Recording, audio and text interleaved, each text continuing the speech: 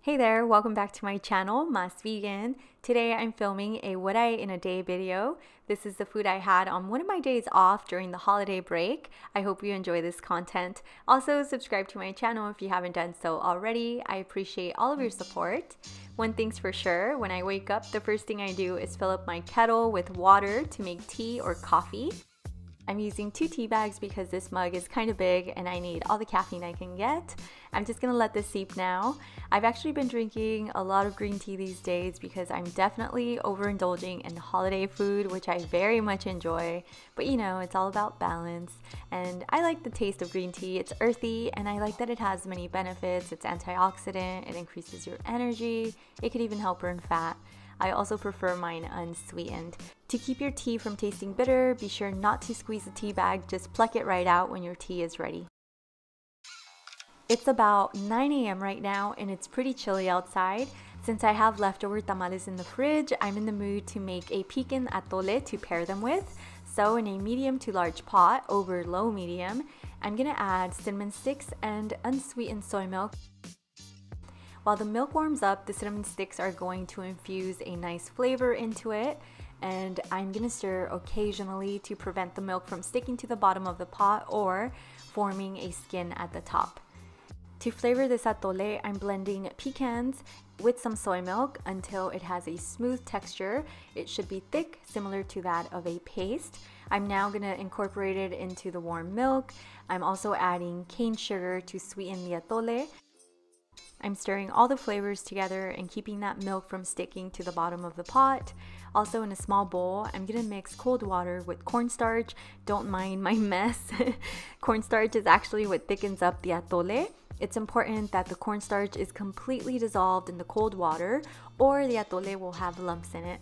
Adding the cornstarch, as you can see, it has a texture of milk. The trick to atole is to continuously stir immediately after adding the cornstarch. This is to prevent lumps from forming. This is thickening up nicely.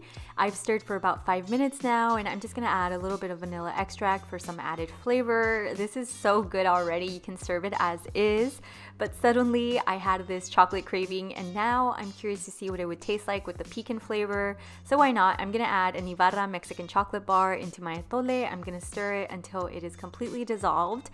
After adding the chocolate bar, it does need a little bit more sugar, so I'm gonna stir some in and that's it. This is pretty much ready to serve. Ooh, look at the texture. It's perfect. It's thick and creamy with no lumps in sight. I also like the pecan chocolate combination. It's really good. And atole is just such a cozy drink to have on a cold day like this one.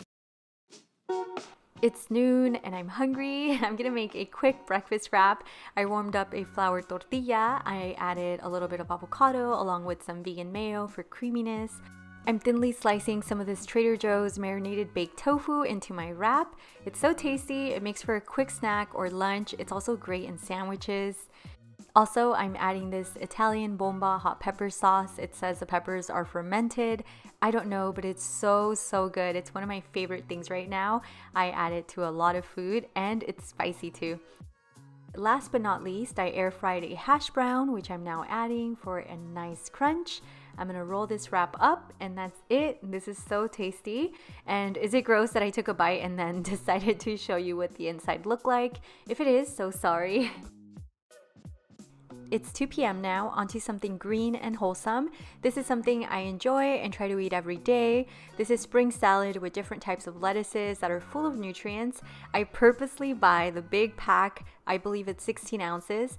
It's pre washed, that way I have no excuses and it forces me to finish it by the end of the week before it wilts. I'm gonna add a few heaping handfuls into a large bowl along with some cucumber slices without the skin because my cucumber is not organic. Also, some slices of tomato and avocado along with some sliced apple. I really enjoy the combination of textures and flavors. Sometimes I add raspberries or strawberries.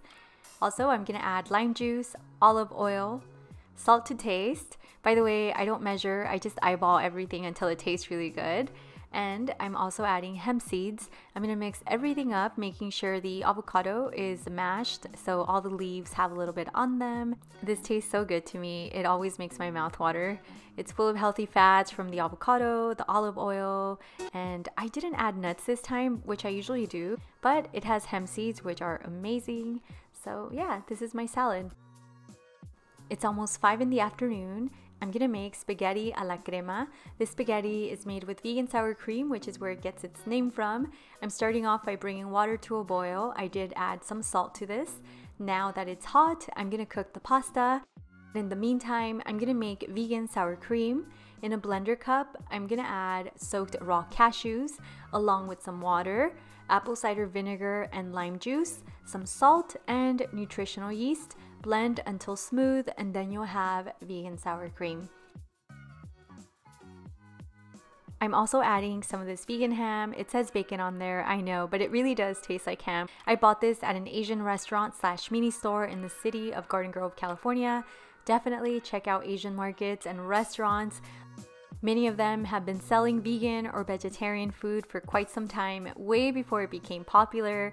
They have great vegan options, usually at a cheaper price, which I love. This is what it looks like up close. I'm gonna cut a few slices into small squares. Then I'm gonna fry them. Once they brown just like this, I'm gonna add more oil and fry minced garlic. Careful not to burn your garlic like I almost did. And now that my spaghetti is cooked, I'm gonna drain the water and add the spaghetti into the pot with the vegan ham. Followed by the vegan sour cream. Also, I mixed vegan bouillon paste with some oat milk to flavor the spaghetti. And I hate to be wasteful, so I also poured milk into the blender cup and swished it around to get all the sour cream out and into the pasta. The full recipe will be in the description box below. This pasta is ready, it's super creamy. I'm gonna garnish it with lots of cilantro, my favorite herb. Also, I'm gonna go in with this Italian bomba hot pepper sauce. Once again, I'm telling you guys, it's so good and it tastes bomb with this spaghetti. Definitely try them together. I love having something sweet after my main meal. I'm gonna make a chocolatey peanut butter chia pudding in a small bowl. I'm gonna add chia seeds, cacao powder, a dash of cinnamon powder, cane sugar, but you can add your sweetener of choice. I'm also adding peanut butter and plain oat milk. I'm gonna mix everything well. Then I'm gonna cover it and place it in the fridge for about three to four hours or overnight. It's ready when it's thickened up. I'm gonna eat mine with sliced bananas. This is so yummy. I love that it's pretty healthy as well. And that is all that I ate today. I hope my vegan recipes inspire you. Thank you so much for watching. I will see you soon.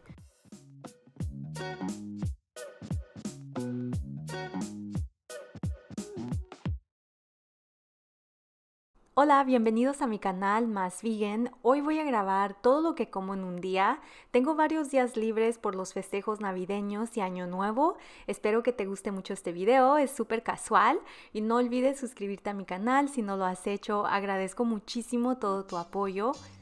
Al despertar, lo primero que hago es calentar agua en mi hervidor de agua eléctrico. Hierve como en dos minutos, me encanta.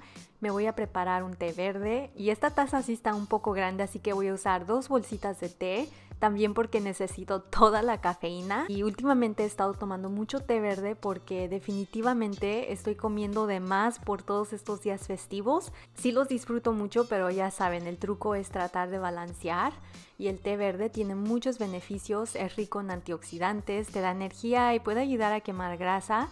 A mí me gusta el sabor, así que no lo voy a endulzar. A veces le combino té de manzanilla y sabe bien rico. Y para que no sepa amargo el té verde, en cuanto esté listo, retira las bolsitas sin pellizcarlas o apachurrarlas. Son las 9 de la mañana, hoy sí siento mucho el frío y como tengo tamales que me sobraron, se me antojó un atole de nuez para acompañarlos. En una olla grande, a fuego bajo medio, voy a añadir palitos de canela y leche de soya sin azúcar o sabores. Mientras se calienta la leche, la canela le va a ir dejando su sabor.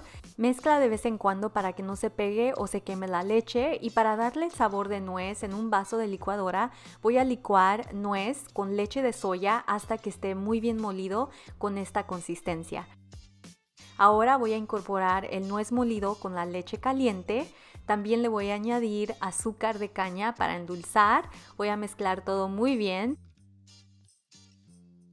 Por acá voy a combinar agua fría con fécula de maíz o maicena como se conoce.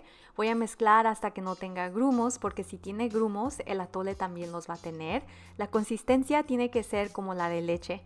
Ahora se la voy a agregar a la leche caliente. El truco es no parar de mezclar para que no se formen grumos.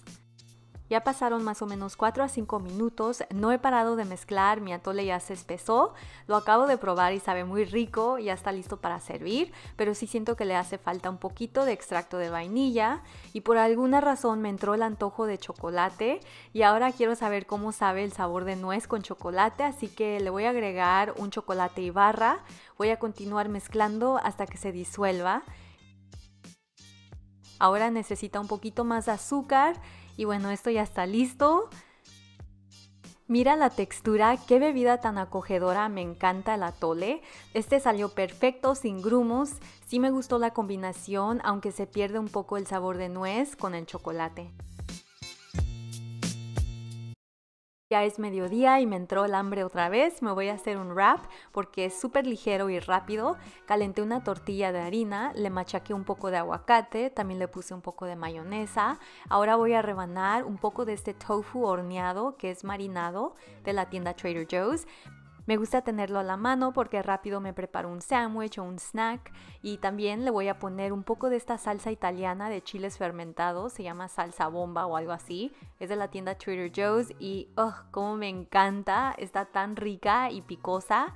Y por último le puse una tortita de papa o hash brown que freí en mi freidora de aire la enrollé y listo, esto sabe tan bueno y no sé si es asqueroso enseñar la mordida que le di, disculpen.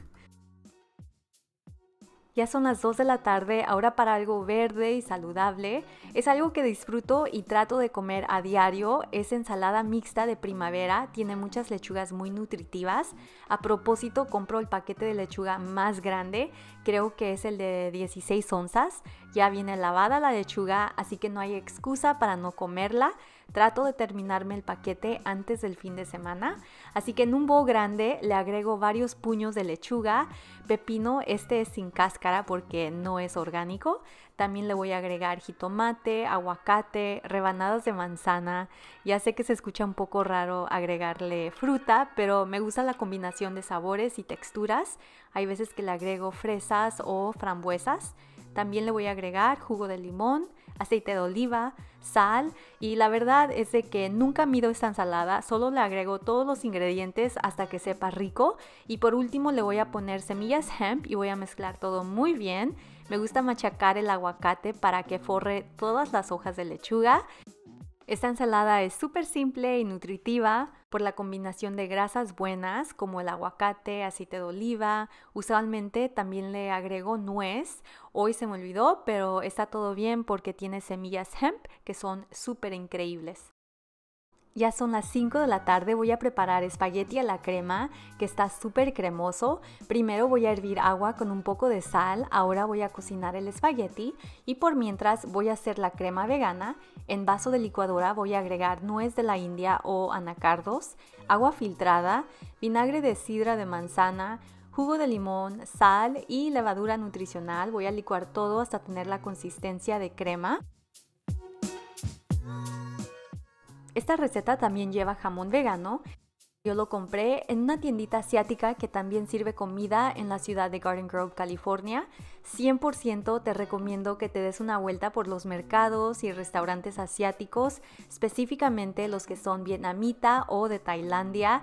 La mayoría de ellos llevan años vendiendo comida vegana o vegetariana, mucho más antes de que el veganismo fuera tan popular. En mi experiencia son más baratos y qué mejor manera de conocer otras culturas que por la comida, que de verdad es una delicia. También suelen comer muy picante, que me encanta.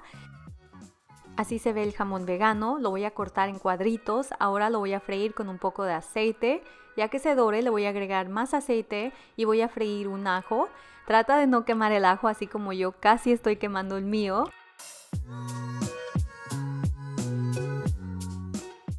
Mi espagueti ya se cocinó, le voy a retirar el agua y lo voy a incorporar a la olla con el jamón, la crema vegana. También mezclé un poco de consomé vegano con leche de avena.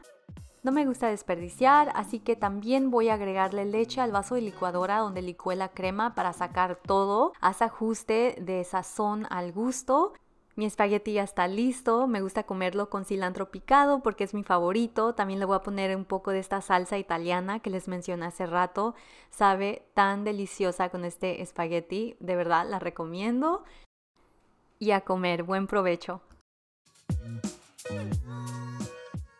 Sabes, me encanta comer un postre ligero después de mi cena. Hoy voy a preparar un pudín de semillas de chía que es súper saludable. Este va a ser sabor a chocolate con mantequilla de cacahuate. Así que en un plato voy a añadir las semillas de chía, cacao en polvo, un poco de canela al gusto, endulzante de tu preferencia. Yo le voy a poner un poco de azúcar de caña.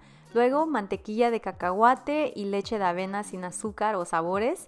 Se mezcla todo muy bien, ya que esté bien incorporado, lo tapas, se pone en el refrigerador por unas 3 a 4 horas o toda la noche. Mi pudín de chocolate ya está listo para comer, ya se espesó, está frío y lo voy a comer con un poco de plátano, sabe tan delicioso y me encanta que es saludable.